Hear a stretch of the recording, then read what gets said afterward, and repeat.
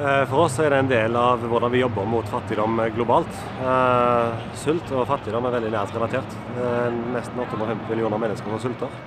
Det er 780 millioner som er fattige, de samme menneskene. Eh, det vi ønsker å oppnå, det er å bidra til at bærekraftsmålene nummer én og to om å utrydde fattigdom og utrydde sult oppnås innen 2030. Og Måten vi gjør det på i, Caritas, er å hjelpe matprodusenter i sør, de som er sultne, de som er fattige, til å kunne produsere mer og for å kunne tjene mer, sånn at deres barn kan gå på skole.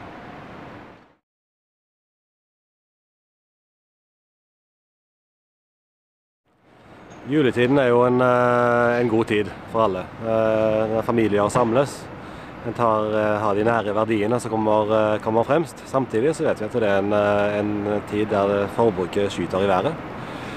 Jeg tror i alle fall nå med, med verdensdagen for de fattige, den første verdensdagen for de fattige, så er det viktig at vi reflekterer hvordan vi bruker alle de ressursene vi har i verden. Vi lever i en verden med, med begrensede ressurser.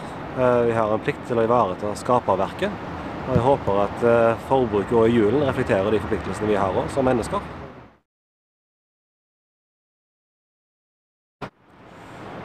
Jeg tror først vil si at Fattigdom har mange ansikter. En finner fattigdom i Norge, en finner fattigdom i det vi liker å kalle globale sør.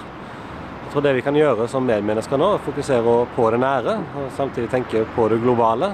Jeg kan forbruke mindre, gi av det overskuddet vi har i kirken, og, be for de fattige. Og hjelpe de fattige gjennom det sosiale arbeidet til kirken er kjempeviktig, og spesielt i disse tider.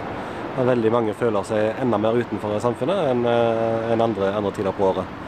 En tid der familien står samla. Familien er jo helt sentral i, i, kirken.